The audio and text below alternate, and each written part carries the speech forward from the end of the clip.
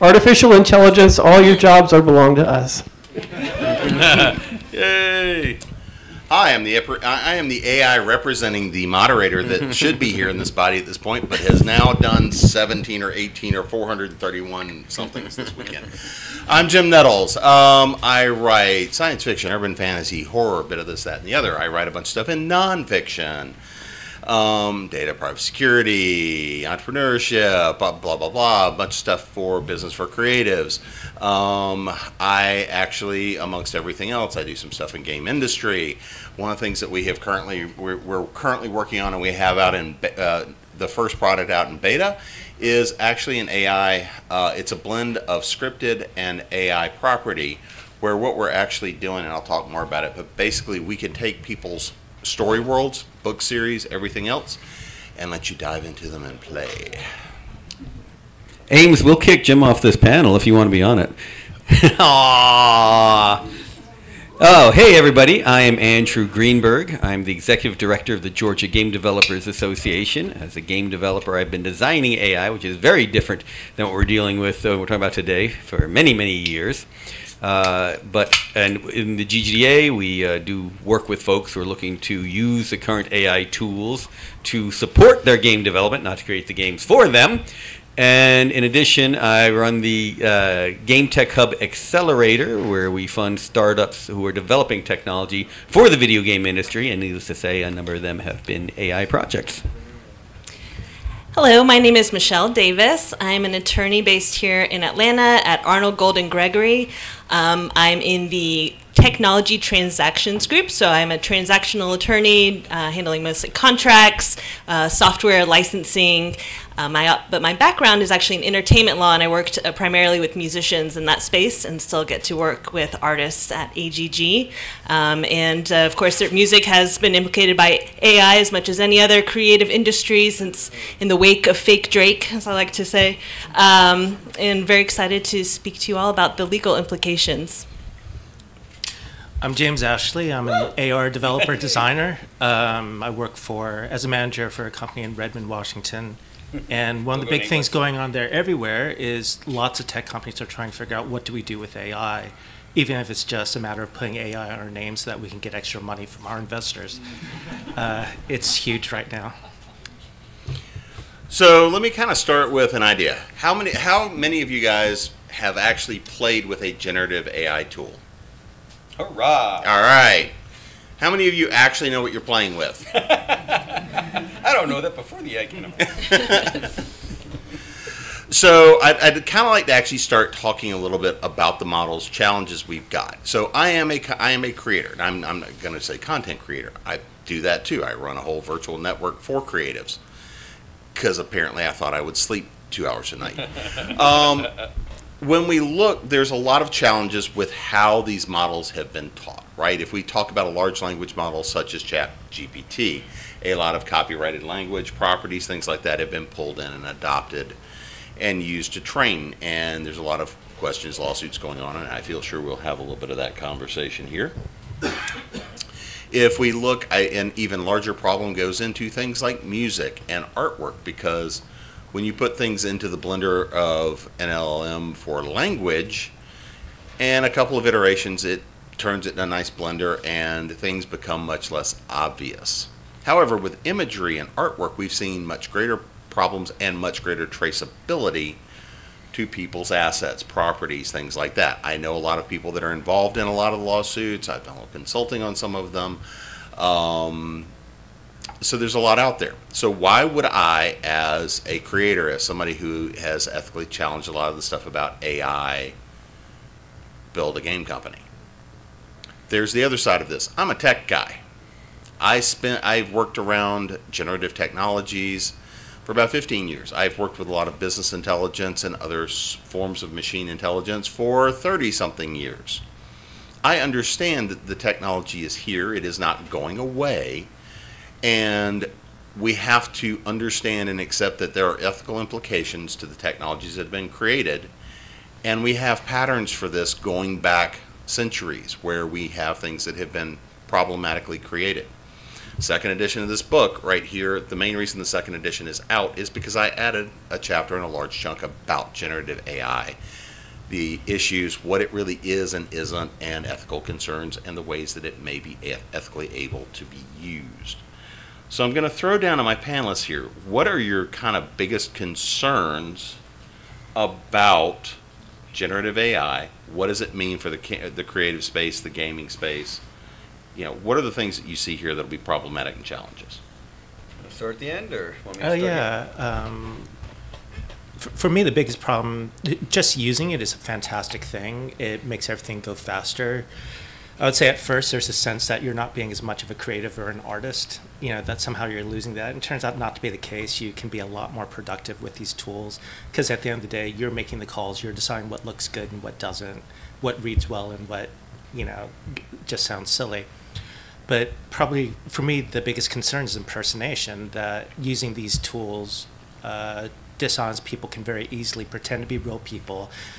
And the barrier has always been to this sort of deceit is uh, can you mass produce it? And with AI tools, you can mass produce deceit, send out thousands of uh, to uh, our grandparents, and get rid of all the spelling errors and actually make it a lo- look a lot more legit than it really is. Um, that'll definitely be my biggest fear going forward. So, what I've seen in the sort of creative space is I, I think of it in sort of three different phases. So you have the data that's coming in that the AI is learning from, and the issues there are: is it infringing just by by virtue of using that information and learning from it? Is that a copy in and of itself? And to what extent are they getting permission from the creators to use their work to feed and teach the AI? Um, and, and it's not really so straightforward if that is clearly infringement or not, so we might get into that later. Um, then the second sort of phase is what's, what's kind of being cranked out, right? The, the output. And is it um, going to actually provide, uh, is it competing with the market for other work that's out there? Are there publicity rights violations where the work is being impersonated? Are people claiming that it's written by someone else and trying to monetize that? And the third area, which I think is overlooked, is the prompts that you put in to get an output, because there is private information that could potentially be put in there. Um, there is copyright protected information that could be entered in as well. And so having a good understanding of what the AI systems are doing with the information that you feed in order to create some sort of output. Um, there's really more questions than answers, but there we'll, we can kind of have the thought exercise on you know where the courts might come down on this eventually. Yeah, excellent. And part of the problem we're having is that we are seeing these very big creators, i.e., companies in Redmond, that are owning uh, what they're putting together. As James also noted, uh, these are great tools, but right already the most valuable publicly available version is ChatGPT Enterprise with a bit of a hefty cost. Uh, eventually, there are open source AI tools that are out there, and we'll all eventually have our own AI agents, just like we all have our own websites right now. But clearly, those big corporate owned ones are significantly ahead of those that we can generate on our own. And as James pointed out, the advantage you get from using these already is significant, and it's only going to get more and more extreme. We already know that all the major financial houses have their own internally and are cranking on these to generate as much money for themselves as possible and uh, developing more and more of their own proprietary tools at what point are we peons left with this barely usable uh, version of AI, and the walled garden has made the have and have nots distance significantly worse than it is even now? And I'm going to add a couple of other concerns on top of this. The first of which is, uh, and this ties into things like we see with the current guild strike, the Writers Guild strike, the SAG, uh, all of this sort of stuff, is there's a lot of concern about taking people's IP and and commercializing it. So there's a you know, in other words, one of the biggest challenges that comes out of using these tools is that what it gives you is a couple of things. It gives you a big echo chamber. it gives you an echo chamber that tends to go senile. it gives you an echo chamber that, depending on the guardrails put around it, can be very manipulative or hallucinative or, you know, just plain out passed out in the street, you know, like some people were last night. It, you know, not anyone on the, up here. All right. But, it- you know, the big echo chamber. And one of the other things is this. Um, because I deal with this, I, a lot of the time I get pulled into things around IP, IP development, putting the company structure around it, things like this. Is that, you know, we've already, the Copyright Office has already ruled if it's created by generative AI, it's not copyrightable, it's not protectable, it is public domain. So this is one of the big incentives with the major studios to go and say, hmm, okay, if it, I don't own it, what it, to what extent do I have to develop it to say I own it? There's a lot of stuff there about that we might touch on. But the other thing is this, is we're seeing a flood of this material come into Amazon and a lot of these products that is not being identified and declared as being created. The truth of it is it's generating a bunch of average crap. Not superior crap. average crap because it's going that's what it's designed to do it's you know ChatGPT is a predictive engine that is a little bit more effective than the predictive text on your phone and some of y'all have heard me say this bad joke already just groan. You know it's that predictive text that can't remember. It's not ducking. Oh. Okay you've heard me say it 12 times. So you know, those kinds of problems being accepted is that the quality of the material you're going to get gives you a starting point. This is the value of the tools is you can use it for a starting point. The problem is we see a lot of people trying to use it as an endpoint and selling programs on Facebook that tell you, oh, you can write a book in a day and it's not going to cost you anything. Just pay us $2,000 and we'll teach you how to do it. And they're going to go stick it on Amazon and it's garbage we're having conversations with a number of companies like this, publishing houses, people like this, to go and talk about the fact that there is value in scanning and grading material. And if people are found to be submitting straight up just generative work, blacklist them from the industry. Because they can't sign a contract that says this is my work. If they send it to Amazon, they're certifying that no, this is my original work. So how are they getting around that? They're going and declaring ChatGPT is my co-creator. I haven't seen. Why don't you do that? Are they, are they actually saying that it's co-created? they tried to register copyright as a work for hire, and the AI is the ah, work, the employee. Yeah, I'm just going to say bullshit. so, that's what the Copyright Office said. yes, it did. So let's talk about how can some of these things be used positively, creatively, constructively, because again, it's a tool set, right? So, Michelle, I want to start with you on this with the ideas of using it constructively, creatively in this space, while we acknowledge that there are ethical and technological issues from a legal perspective. When you look at this and have that idea, what are your thoughts about where this is going to go? So, in terms of ownership of the output, what the Copyright Office has said is that there has to be some level of human authorship. And so the question is at what point does AI go from being more like a paintbrush uh, to more like the painter? So you can use it as a tool, and I think those are the best sorts of use cases. So you maybe not to write your whole book, but to help you proofread it, to find um, discrepancies, fact checking perhaps, um, looking for inspiration uh, for initial concepts. Uh, I mean, you see that even in the legal industry. Um, you know, there was an attorney that very infamously now got in trouble with the courts because he tried to present research that he found from ChatGPT, which was just a hallucination. It was totally fabricated. Um, so you, you should not use AI to do your legal research. And still billing the hours for it. Oh, I'm sure.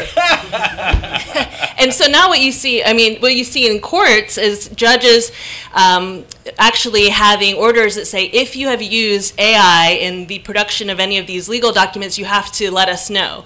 And so I think that that's going to be a common trend across other industries, as you gave it the example of Amazon, that you have to um, sign off at least contractually and say if you've used AI and to what extent.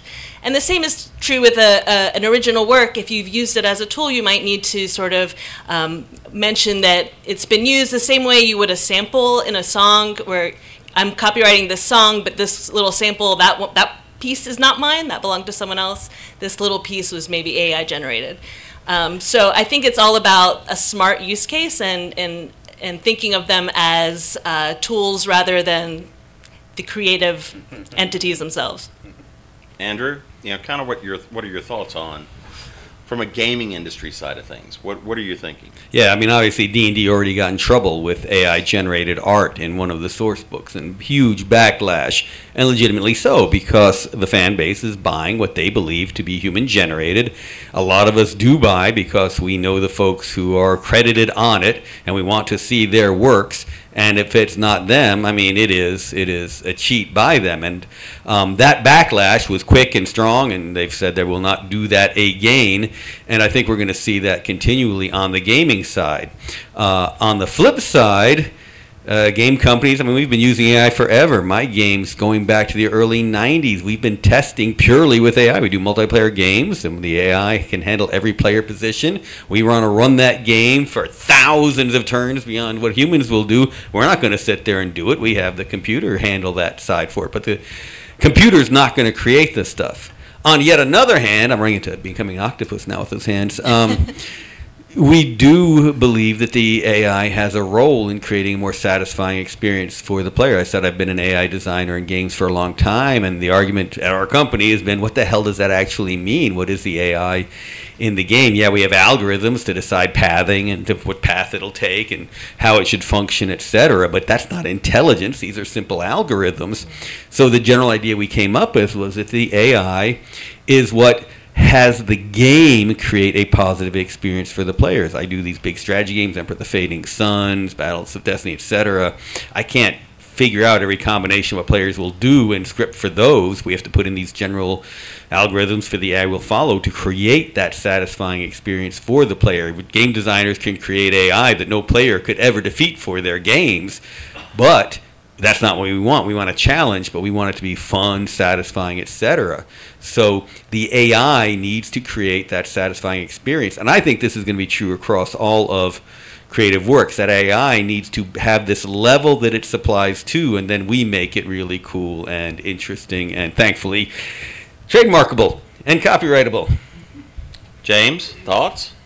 I'll take the opposite view. Yay! All right. Uh, Street let's fight. say let's say authenticity and authorship and ownership are really aspects of late stage capitalism, right? If you go back in time, you've got Alexander Dumas had you know a whole factory of writers who would write the chapters for him, and he'd just pull them together, fix them up, stitch it together, and it seemed totally reasonable to have a literary factory.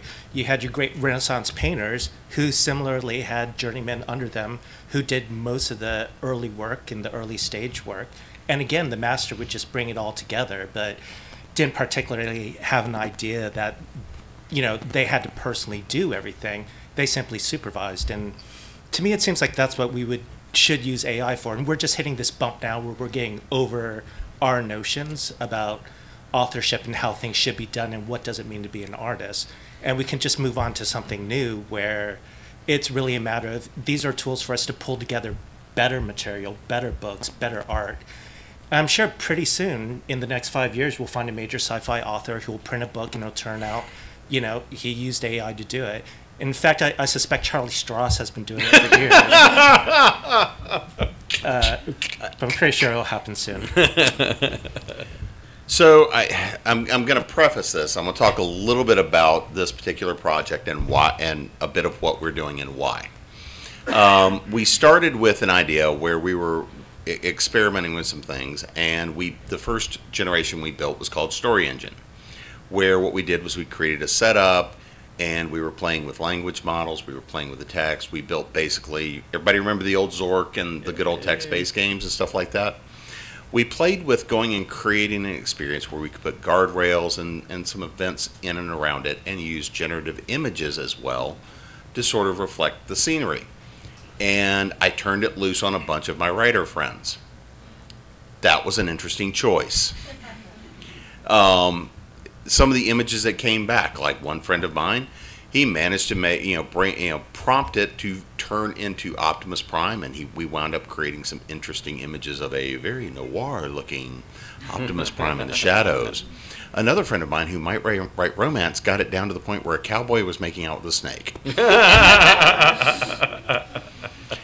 So then we started looking at the second generation, and now we're kind of into the third generation of the beta, where what we really have focused on is character interaction. Um, we relied a lot on looking in. Basically, it's it's built around being a you know an RPG, and so we focused very much on the interaction between the player character and the non-player characters, and introductions. And your stats mean a lot we carry state history. So it remembers, oh, I haven't seen you in a month, or I haven't seen you in two hours. It remembers and says, you pissed me off yesterday. it, you know, so characters can build real relationships, and we don't entirely even understand all the relationships we see being built between some of our characters. And what we're building with the given world in this particular, this is where it beta. Um, what the what we ultimately will land on is going to be a world where we are working with authors and creators to create storylines, um, and we will take those, turn the the static part of the story into the setups, into the maps, into everything, so it's playable. There's quests, there are puzzles to be solved, there's combat, monsters to be killed, all this kind of fun stuff. And all that will be done with scripted engines and work from authors and creators. We will then use the generative AI to create unique experiences based on how did you really react? What did you say to someone? To create much more realistic dialogue. And this is where we have been focused for a while, and we're actually pretty happy with where we're at with that language model, and that's what's out. Um, object permanence for us is coming out in the next couple of weeks. Uh, we're waiting on one of our partner companies. We're doing some API work right now, and we'll be looking at having um, the the next generation of it with combat and things like that. So we're already working with our authors, and ultimately we're going to have start with four universes. One is this kind of standard Middle Ages. The second is going to be a urban fantasy, paranormal romance, kind of you know freaky modern day sort of thing. The third is going to be a sci-fi, cyberpunk kind of environment, and the fourth is going to be focused purely on story and romance. And that's where we're starting with these on the project. Um, we actually do have other. We're, we're gonna. So we we're kind of using these as the four basics, um, and we're gonna see what we get, and we're gonna be continuing to build them. Part of the reason I'm going with this is because these are authors and creators I know whose IP they're interested in bringing because we will be able to go and say, "Hey, you're about to step in the world of." John Hartness. We were gonna. We had originally planned to have a Bubba the Monster Hunter story set here at Dragon Con to roll out as the premiere. Um, and we just didn't get that far, but the plan will be to have it here for next year, and it'll be something that is available only for Dragon Con attendees. You'll get a little NFT token, and you'll be able to have it and go play it. Um, so part of the reason, purely selfishly, is I'm working with people I know and trust, and that trust me. And he's going to capture all their language and sell it to Amazon. No, wait. No, and and one of the things that we are doing because I'm currently starting to look at the architecture and what we're going to use. We're going to build our own LLM where we're protecting the IP. Um, you want to go? Yeah, got to come up to the Go mic. to the mic. And while he's doing that, remember, you can rate this session already in your app. Just go ahead and give it that five, get it out of the way now.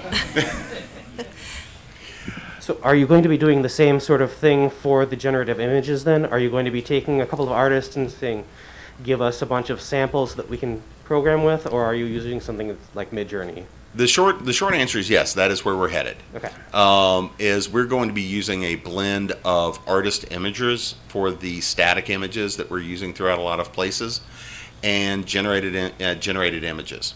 But our intention is going to be to build our own imaging model as well. That's going to be a little bit further down because that's a lot more processing. Um, but that is one of those things that's coming.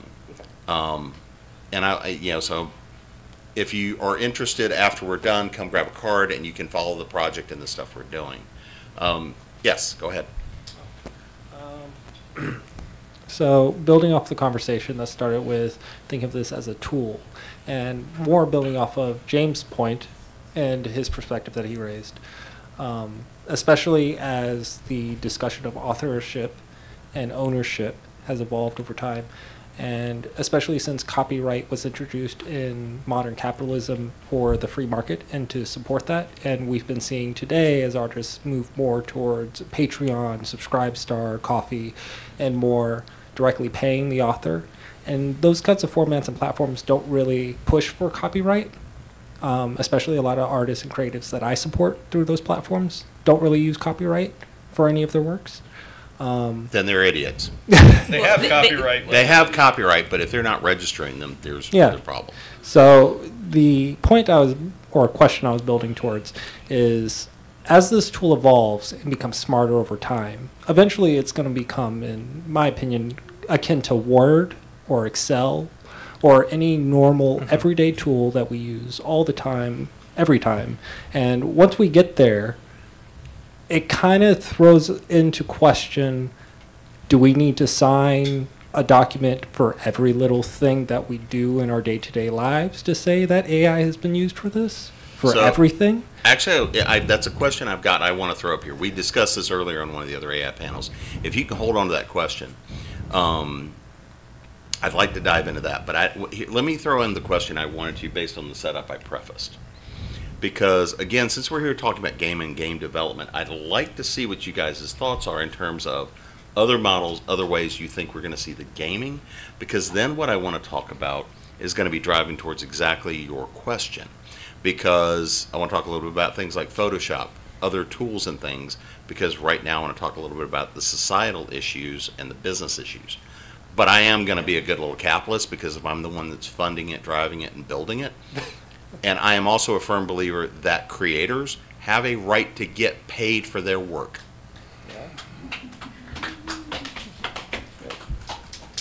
Well, So- I mean, clearly in game dev, we've been using AI and scripting and so forth for a long time to develop things. There are companies out there that use AI long before this to do basis of level design. Here are my assets, start throwing them together using these parameters, then let me flesh that out uh, more completely. They're the biggest companies in the world have been doing this already and have been using ChatGPT to get stuff to the concept artists, etc. I know a lot of 3D uh, artists, renders, animators who would love to have a tool that would do the very basics of 3D animation for them, put the bones together when they get a new 3D model, do the very basic sequences, so they can do the cool stuff. This is the amplification side. I want to get that weak of drudgery out of the way so I can do a cool death scene and not just make sure the arm actually goes next to the avatar and doesn't go across the room doing a, uh, who knows what else. So there are a lot of ways we want AI to handle that. Uh, to handle that for us. Um, the the bigger question is, uh, what will it do effectively in in the long run? You're, when you're talking about the far future for it, I mean, there are companies right now that really want to have the whole thing turned out by AI. We could have had a million more Flappy Bird style games, all done by AI with no difficulty, and uh, we saw how many there were uh, uh, to begin with. So uh, I talked about before that, that some of this has to be on us as the consumers to know what's out there, know what's in. But but just take it for granted that every game dev company is using this to some degree to get to that point where humans can really do the can really do the uh, the incredible stuff and that's going to be a fun part of it. And and to the to the question of what should we assume that they're using already for it, I talked about the accelerator I run. I take it for granted that every single application I get took at least one pass through ChatGPT before it got to me. I'm taking this for granted now, and everything I see on social media, a lot of the emails I get, it went through ChatGPT at some point. I think you're the best one qualified on this one as well. Yeah, I, I, definitely wouldn't want the end result for us to flag anytime it's been used. I think that would obviously be excessive, and I think that's a, a risk depending on how the courts sort of see things. So, you know, it's interesting as Andrew describes how AI has been used uh, in game development. All these sort of um, descriptions of how characters move and scenes feel. The, none of that is copyrightable. It's not protectable information, um, and you know, it, it, so much comes down to how the technology is, used. If you have um, a database filled with let's say thousands and thousands of images and you create something from that, is any one little piece, can you even trace where, how it was informed and where it came from? And if it's so minute, um, that's probably not even copyright protected. And we have, the copyright law actually has a caveat for this kind of thing, and it's called fair use. It's a very gray area. It's a balancing test of four different factors, blah, blah, blah, um, without getting into the Copyright 101, which I think was the earlier panel. But, you know, we have some precedent here. There's Authors Guild versus um, Google, uh, where Google was basically scanning books to archive them, and the courts ended up ruling that that was a fair use um, because of how they were copying the books. So we're waiting to see. Um, you know, now with all the sort of class action lawsuits, like Sarah Silverman's sort of been the face of uh, the one against uh, OpenAI and Meta. Um, but you know, when you create a work, as soon as it is fixed in a tangible medium, when the code is written or the song lyrics are are written down or the songs recorded or pictures taken, you own copyright, whether whether you believe in copyright or not. It is yours. Um, and when you own copyright in the US, you have these exclusive bundle of rights of what you can do with that underlying work. You only you can copy it, distribute it, make derivative works from it, publicly perform it, so forth. So what we're still trying to understand is how AI works, is that actually making a copy of the work in a way that is infringement? Is it copying um, in a way that might be fair use? Is the output a derivative work in a way that is infringement? Um, and if so, you know, do we do we hold the AI systems liable or the person feeding, you know, the prompt to create that output? And uh, really, like in all things, whenever you ask a lawyer something, we sort of famously say, "It, It depends." depends. Yeah, I've, never been on a panel where that hasn't come up, so I had to had to do it. But but it's true. So I think instead of thinking of this like, is this infringement or not, it's more like, what are the arguments that it is? What are the arguments that it is not? And then you know, seeing where the scale sort of is balanced. Um, I, I don't know that I answered the question. I forgot what it was. Ah, wow. I've been talking. So, James, can you make up the answer to the question? We've all forgotten what I asked. Yeah, I mean, yeah, man. It's uh, okay. So, what we've seen over the past decade or so is we've destroyed the publishing industry because of micro patronages uh, through online money things. Thank goodness for PayPal and all that. The world has changed, right? And we just go a step further, it makes sense to me that I don't care if something's written by an AI or a person with an AI. If I like the work and people I trust like it, that should be the important thing. And I'd be happy to give them money um, to actually have control and be able to say, these are the things I enjoy in my life, rather than to have large, centralized, uh, heavily capitalized studios and publishers and so on helping determine what I like. So there's an upside to it. It also means that people just starting off, if they do great things, are able to find success much more easily than they have in, say, 20 years ago, where you had to find a publisher or you had to find a studio that would back you and take a big cut of your money for many, many years. So I want to throw one more question out here, kind of quick answers, and then we're going to dive into the questions. Um, so I mean, again, this is we've talked about this as a tool set. You know, we've seen. I remember because I used to be a photographer. I did a lot of it back in the day when I was doing a lot of journalism. Photoshop was, oh my God, Photoshop's you know digital cameras, Photoshop. This is going to destroy photography. Whole industry is going to go away. Do you remember when photography was going to destroy painting? Oh yeah. Radio destroyed. So I mean, MTV T- TV destroy killed the radio star. star. star. Yeah, radio killed live performance. Okay, I think we got the answer there on that one. Um, so your question. Hello. Uh, I think this is probably a question more for Michelle uh, again. So I use an uh, app called Pixelmator, uh, which is very similar to Photoshop in a lot of ways, and never really paid attention to it. But there's a feature within it called Super Resolution, and it upscales the image. And when you look closely, it's using machine learning to do this.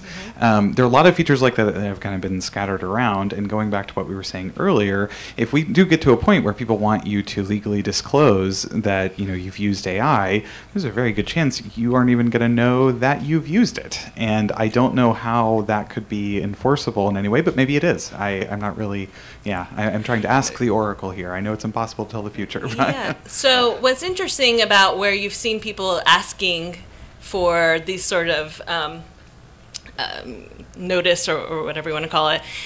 In the court system, when if a judge says, "Let us know if you use AI," that probably means it's an old judge that does not like AI and is scared of it. Um, which is a very different sort of situation from somebody uh, entering into a contract, wanting to buy something, and wanting some sort of a warranty or indemnity that it, there's no infringement, that someone's going to come after them. So that I think it's a really good question because um, just because AI is tacked to it doesn't mean infringement, right? It's um, I think we've seen already a lot of attacking sort of the wrong AI tools in the wrong ways. If you're familiar with like the Prosecraft um, uh, system where they were taking text from books um, and analyzing it, and it was really just information about words usage and um, how long the page, how many pages are words, you know, that kind of stuff. Not the actual text, but people said they're, they're taking our book and they're using it to feed their machine without paying us, and that's wrong. And I don't know that that's it's certainly not a copyright infringement issue. So uh, it really it's it comes down to the same copyright principles we have now. To show infringement, you have to show that there's substantial copying and you have to show that there was actual access. So for you as an artist, if you're putting some work out there, I don't really care what tools you use as much as is this substantially similar to somebody else's work and did you have access to that work? Did you actually copy? And at the end of the day, that's that's what if I'm li- if I'm licensing work from you, that's what I'd be concerned about. Thank Yeah. you. Yeah, and the one thing I'll add to that, because this kind of goes back to your question as well, um, is the idea that fundamentally now, and I've been having this con- conversation with a number of IP attorneys, contracts that are going to publishers, um, in a number of spaces. Physically now, especially as a writer, there is no way to attest there was no AI involved. Microsoft Word, all the Microsoft products has it now embedded. If you've been using ProWritingAid, Grammarly, all those different tools for years, those all use certain parts of, of AI tools.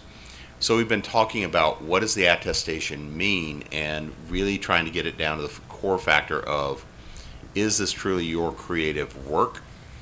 Um, and I think that there's going to be a lot of questions going forward is at what point, and I think this is going to be the thing for the attorneys as we go forward with cases, you know, if I go out there and say, write me a short horror story in the style of Stephen King based on, you know, um, a pig farm run wild, um, if I do that and I say write it in that style and it's that close and I go submit that as my work and I've done nothing substantial to it. Um, so we, I don't think we're in a position anymore to say, no, there's been no AI in it. And truthfully, we haven't been there for a while, but most people didn't know the tools that we're using.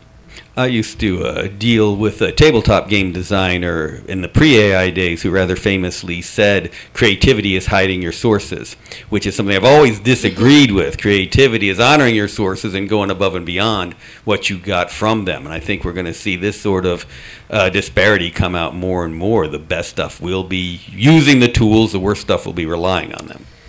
I mean, copyright law already deals with this struggle of, um, you know, we don't have to have AI, we can have just regular human brains and trying to decipher when someone is inspired by something versus when they've copied something. And it's not easy to tell. And, um, you know, same like with the Stephen King example, if there's nothing in that final text that is actually verbatim Stephen King's original work, that output in its in and of itself is not going to be copyright infringement because he can't have a copyright in his style yet, right? Um, unless the course finds something different. Um, so that's kind of why they're looking at not so much the output, but it's just the the technology itself already infringing by using the work um, in that way in the back end, no matter how it ends up being outputted, if it is. Um, yeah. And game mechanics are not copyrightable. So if you want to have the AI tell you how to do your UI and how to go ahead and have the mechanics work, et cetera, et cetera, it's as protected as it would have been otherwise. Now, if you now if you had that example and you said um, this is a work co-written by Stephen King, or you used his name or ins- and used his name to sell it, then you get into the publicity rights spectrum, and you can't use somebody else's sort of name, image, likeness to make money without their permission. So that's a, a different area of law. Hello, everybody. Uh, long-time listener, first-time caller. Um, I'm excited to be here. Uh, I was wondering. I love cybersecurity, and so I was wondering, how do you view cybersecurity with AI, and like, if the AI engine has like a bug or a vulnerability in it, and what kind of laws could be there in place as well to prevent that from happening, or like who's responsible for that if there is a bug if you're using AI engine that like type of that's kind of field, if you don't mind. Yeah, So- go ahead.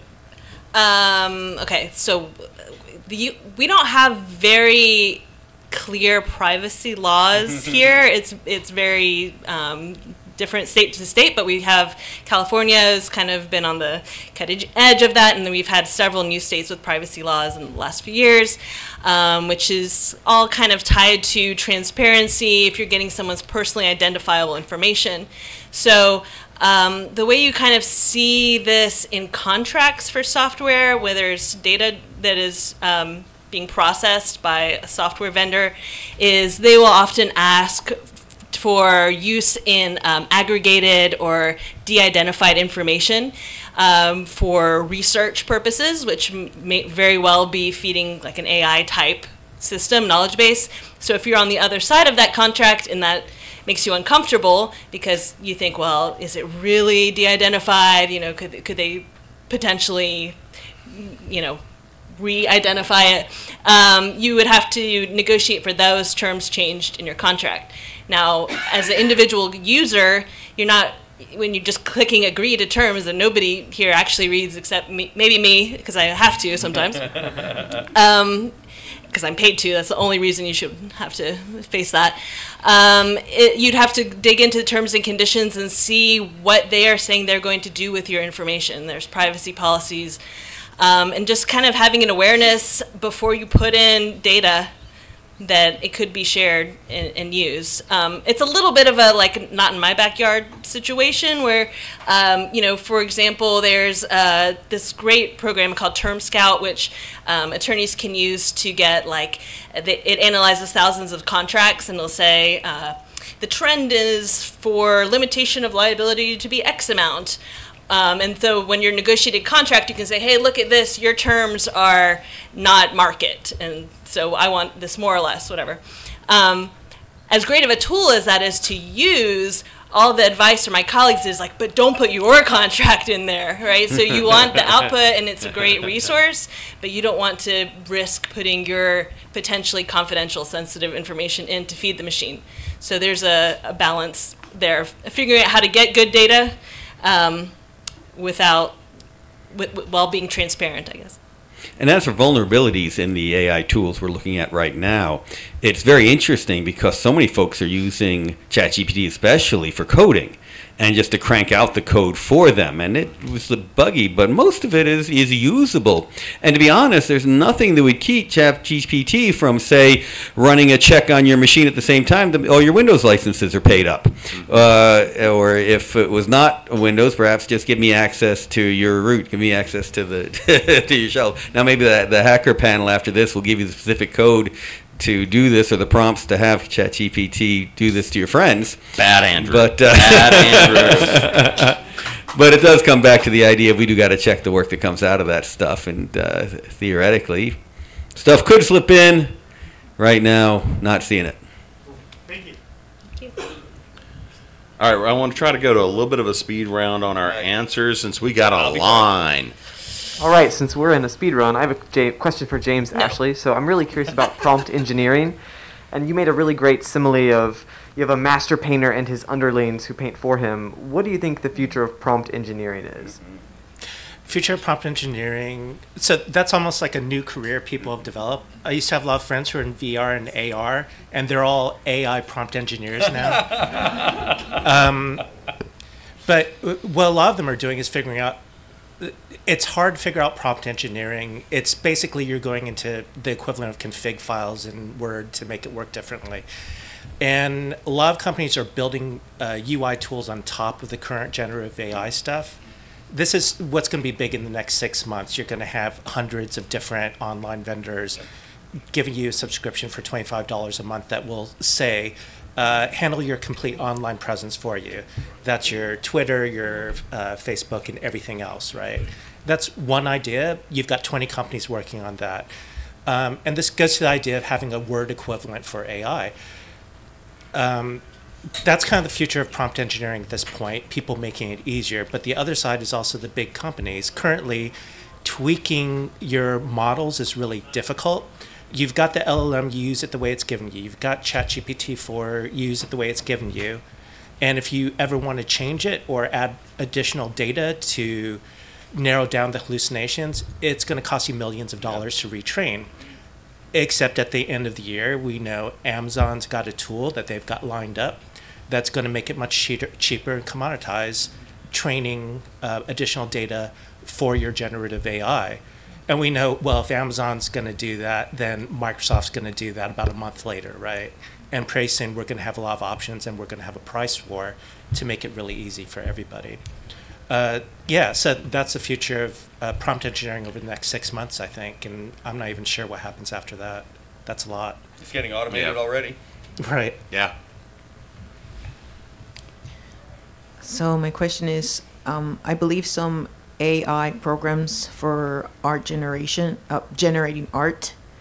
Um, some of them you can pay like a subscription, and then uh, your um, the art you use you generate with AI, it's not shared publicly, so it's kind of yours. But I'm wondering if you can actually make it yours and copyright it.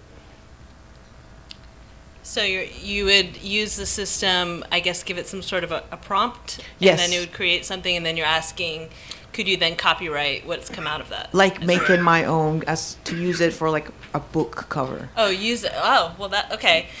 That's interesting. Yeah. So right now, you could use that because it's not really owned by anyone else. You wouldn't. There's nowhere to go for permission. Um, the risk is if you don't know what input it used, and if that input is easy to trace and maybe more um, obvious than you realize, and someone looks at your book and says, "Hey, that's clearly a, der- a derived from my work," and then they can show that it came through that system, then you might be in trouble.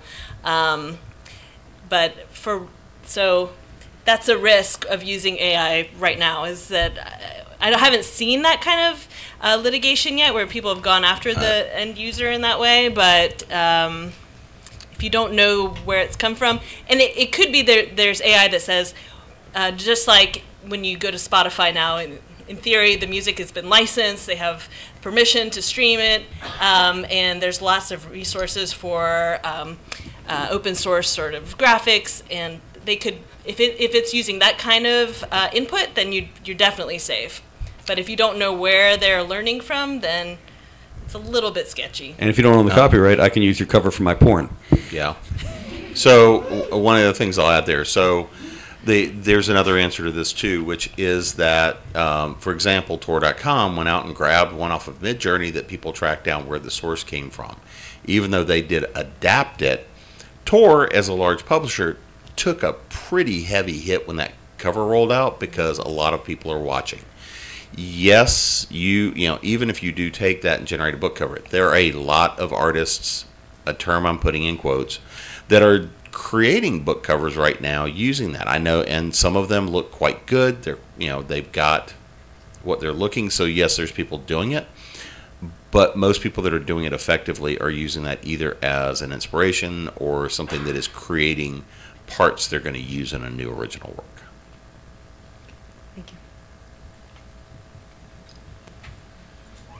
Hello, also first time participant. Uh, I've just got a whole slew of questions and my mind is all over the place, but I'll just stick with one for now. Uh, with the advent of AI and you know, in video games, there's no particular reason that uh, everybody's video gaming experience has to be exactly the same. If you can use AI to customize each individual person's experience, are those individual experiences copyrightable if they're all different? Like I play a lot of text-based games that just Sure. sh- just throw artwork up of the characters, but it's not crucial to the story. All right. Hey, just real quick, have you tried a website called AIDungeon.com? Oh yeah. No. That's an LLM for Right. generating role playing Mhm. games, and it's multiplayer. Yep. Every game is unique, they claim. A- And actually, uh, uh, part of a different, a, a, a different but related project we're talking about using the same tools we're building right now would actually allow you, um, if you step into somebody's story, um, what you would be able to do is go in, play it, and if you had enough fun with it, it would actually go back in and then generate a comic from that automatically that you would only have access to digitally, and it would only be through a proprietary technology. So you would not be able to necessarily go print it or sell it, but you could have a memory of that that that lived experience. It, and I mean, you'd have to. The other question is like, why would you want or need it to be copyright protected unless you know you're the game designer and a script has been created and then you want to publish it again somewhere else in some way, um, taking it out of the context of that individual experience. I don't think there's any uh, commercial reason to sort of protect a, um, a a temporary experience or something that kind of exists in that for that moment. Right, we deal with this with the mod community already. I want modders to make mods of my game. I want them to create a personalized experience of my game. They can't sell it, but I want them to use my engine, my game, and do all these things already. Every large company right now is looking at that individualized experience. I mean, they, I want to put you in your game with an LLM of you, so that you are actually in it. Uh, now, who's going to own that, et cetera? It doesn't matter. But I want to be the one selling you that game that you can then put yourself in. Thank you. Uh, if I have more, do I go back, back a line? Come, come hang out after the sh- Yeah. after this thing. Oh, We're gonna be lucky to get these three in.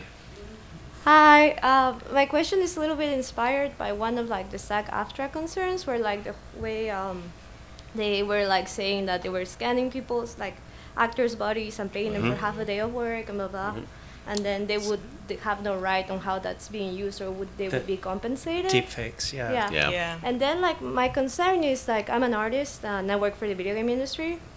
Um, and like how that could translate to our industry of like how like let's say someone is hired to create like a certain numbers of concept arts for the for this video game and then they're paid for like a month worth of worth of work and then the company has a right to use these and like feed it into an AI and create more and more concepts. So my question would be what would you think um, the what would you think would be some like protections that us as artists could start like thinking Sure. of to protect ourselves and get compensated just like the way um, uh, television writers used to get compensated per episode in back in the time and like so something like royalties or- residuals and royalties. Yeah. Yeah. Yep. We don't give artists residuals in the game industry. Um, so there actually are a couple things that are, are in play here. So if we talk about likeness, like Bruce, Bruce Willis licensed his likeness so that he can actually appear in other movies and films. That's something he was done before he went down the current path. Um, this is one of the fights that's there with the with SAG, right?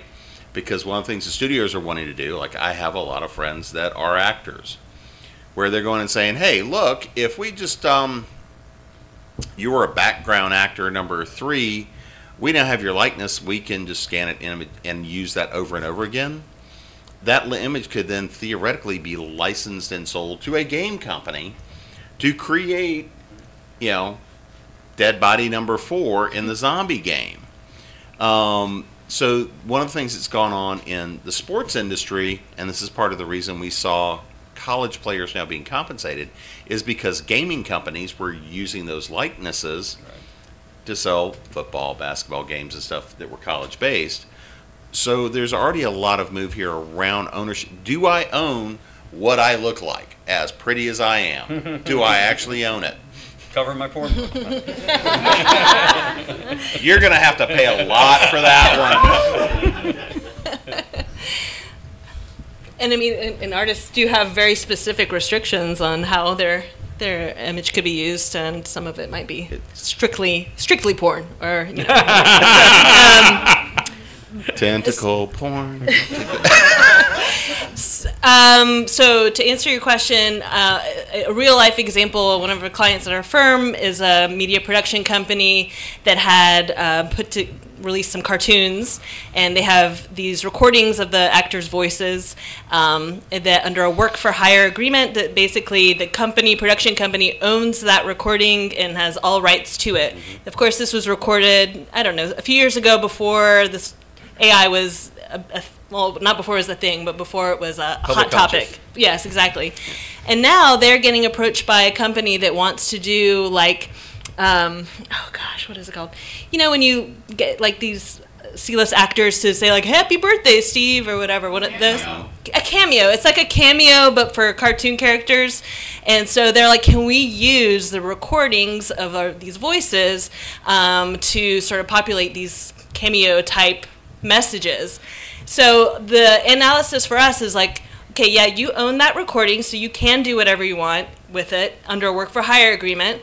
Then very quickly we looked at our talent contracts because law firms, you know, can represent both sides, and made sure our talent contracts moving forward said you cannot use this for, uh, you know, Gen AI move, uh, in, for future use, and kind of so it's all about your scope of your license and what your what your contracting uh, use. So putting limits on that. Um, and then the other thing we had to think about was like, okay, but who specifically are the actors? And are any of their voices recognizable in and of themselves? Are they super famous? It's like a Morgan Freeman, where somebody, where there might be, um, then you get into publicity rights issues, where someone might say that um, they think that he's endorsed this program or whatever you're getting to say. We wouldn't want them to use the voices to be like, uh, here's this cartoon character saying shop at blah blah blah store, you know, shop at Walmart, because then it's getting into marketing. So um, there's all kinds of contractual limitations that you can put in. And, and this is the one reason I do recommend you be explicit about the rights you're licensing, not.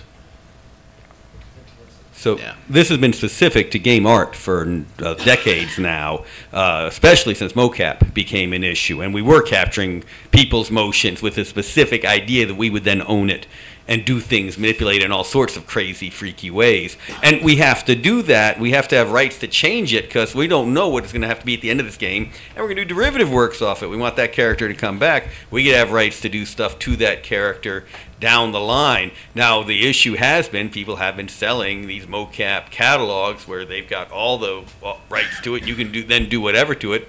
Same with our sound catalogs. I buy these sound effects catalogs, and I can manipulate those uh, those digital files, uh, audio files, any way I want to put into my games. I need that. I need that kind of freedom as well. But you're absolutely right. It is now the question: What are we selling? What are we going to allow folks to do with it? Because AI can squeeze you out of the equation, and we don't want that. And part of that, I'll say it again, it's going to be the backlash against companies that pull that stuff. All right, and I know we're at time, so this will be the last question because, you know, I've never ended on time. Great. Um, this question has two parts. Uh, it's an example case, probably for Michelle. Um, say, for example, Stephen King had an AI that was trained only on his work, and it produced more work that was synergies of his work that already existed. Would that be copyrightable by Stephen King? And does the answer change if Stephen King was the one who created the machine learning model that did it? So Stephen King has in, has given it permission, I guess, right? And- And could he say that this is mine because it's only been based on his work? That's a really interesting scenario.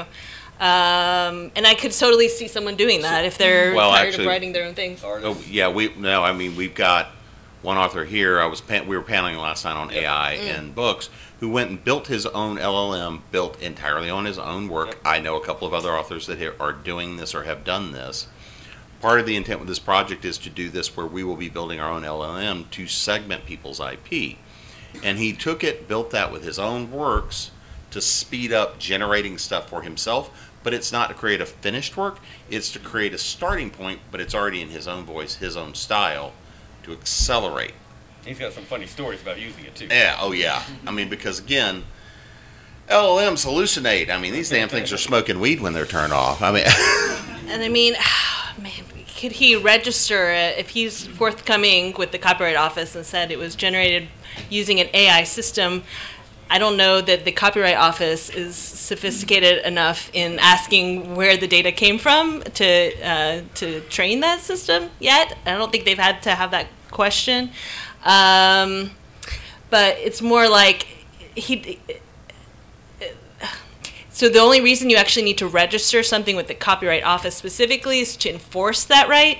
So then you're going to get a really interesting situation if somebody infringes on the AI Stephen King book. Um, if he's going to be in a position, if he's going to have standing to sue to say that that was his, or is it no? This is in the um, there, there, There's no, yeah, no no no copyrightable element there. to pick on the artist, this is already becoming an issue there. Folks are looking at train Dolly type things for text to speech just on their art. Ar- Artists who have this huge catalog that they can throw into it, and you want a dragon in this style with a barbarian, etc., and they can just press a button and have it turn out. I think by the general readings right now, if he doesn't do anything to it beyond give it the input and then press the button. There's no copyright right now by the readings. Copyright Office is asking for uh, yeah, there that might is uh, change. is asking for things. But I think under the reading of the law right now, you know, there's no copyright to it. Which doesn't make a lot of sense, which is why it's so. all right. Well, So thank you guys. Um, I've got a little swag up here if anybody cares or is interested. got a lot of But thank you guys for coming out tonight. Rate us.